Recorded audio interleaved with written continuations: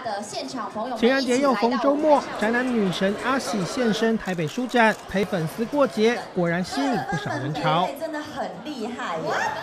好，太幸运了，这是什么呢？脸贴脸三秒，恭喜！阿喜亲切的和男粉丝脸贴脸玩自拍，还玩起时下最流行的比东，甚至喂食巧克力，让粉丝大呼满足。阿喜还大方公布挑选男友的条件。其实我觉得男生更重要的是会说话，然后会至少然后有读书，然后其实看了很多不一样的知识，可以跟女朋友讨论，这样我觉得反而是比较贴心的。啊，或者是阿喜挑男友走执行路线，他也透露私底下很爱阅读，借着看书充实自我实力。像工作上，我可能需要自己要穿搭，所以我还是会看一些穿搭书、穿搭文。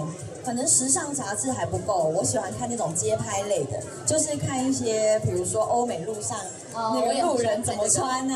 他们都穿的很有趣。但是呃，除了这个以外呢，工作上我也必须要就是讲话言之有物，必须要说出一朵花，所以也需要看一些成语谚语啊，或者是一些呃真的有文学内容的书。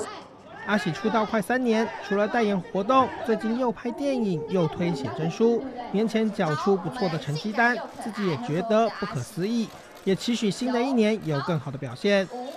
中央社记者黄军、王一文台北报道。